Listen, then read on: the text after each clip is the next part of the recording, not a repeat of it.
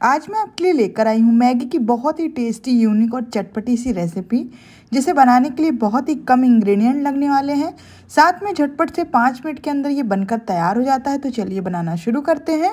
इसे बनाने के लिए एक पैन में हमें लेना है दो tablespoon melted butter butter के गर्म होते ही हम इसमें डाल देंगे दो टेबल स्पून चॉप किया हुआ लहसुन।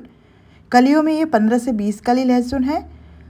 एक टीस्पून डाल देंगे इसमें पिज़्ज़ा सीजलिंग और आप अपने टेस्ट के हिसाब से भी डाल सकते हैं। चिली फ्लेक्स डाल देंगे एक छोटी चम्मच। तो ये भी आप अपने टेस्ट के हिसाब से ले सकते हैं। दो बड़ी चम्मच हमने लिया है यहाँ पर टमाटो सॉस दो छोटी चम्मच हमने लिया है यहाँ पर सोया सॉस तो ये जितने भी इंग्रेडिएंट हम डाल रहे हैं, आपको सभी को लेना है।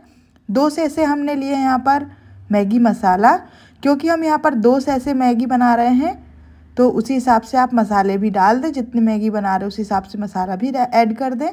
थोड़ा सा नमक डालेंगे जिससे कि हमारा जो मैगी है वो फीका ना लगे। सारी चीज़ों को बहुत अच्छे से हमें मिक्स करना है। यहाँ पर हमें जो गैस का फ्लेम है वो उसको मीडियम टू लो रखना है। बहुत हाई फ्लेम पर ना करें, नहीं तो बटर जो है वो जल जाएगा और फिर हमारी वो जो मैगी का वो असली टेस्ट है वो चला जाएगा। और अब हम इसमें डाल देंगे चॉप किया हुआ धनिया। आप चाहें तो ग्रीन अनियन का इस्तेमाल भी कर सकते हैं। सारी चीज़ों को अच्छे से डालने के बाद बॉयल की हुई मैगी हम इसमें ऐड कर देंगे। तो यहाँ पर ये दो मैगियों को मैंने बॉईल करके हल्का सा ठंडा कर लिया था, जिससे कि बिल्कुल भी स्टिकी ना हो। अब इनको हमें बहुत अच्छे से मिक्स करना है। अब यहाँ पर आप चाहें तो गैस का फ्लेम हाई कर सकते हैं, जिससे कि हमारे मैगी में बहुत ही बढ़िया सा स्मोकी वाला फ्लेवर भी आ जाए और टेस्टी भी लगे।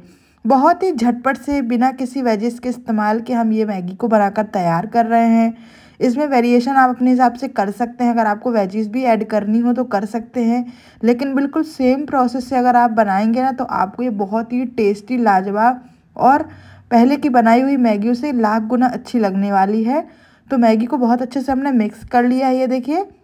बहुत ही कलरफुल टेस्टी और यमी लग रही है हमारी मैगी। तो चलिए इसे अब हम सर्व कर लेते हैं।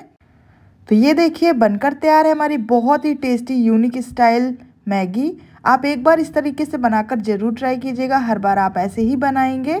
आई होप कि आपको मेरी आज की रेसिपी पसंद आई होगी। पसंद आई हो तो वीडियो को लाइक, शेयर, सब्सक्राइब करना बिल्कुल भी ना भूलें। इसी तरह से टेस्टी और आसान रेसिपीज़ देखने के लिए चैनल को लाइक, शेयर, सब्सक्राइब कर लें, क्योंकि मैं एवरीडे ही वीडियोस अपलोड करती ही रहती हूँ। तो जल्दी से जाइए किचन में और इस रेसिपी को ट्राई करें। मैं मिलती हूँ नेक्स्ट वीडियो में। Thank you thanks for watching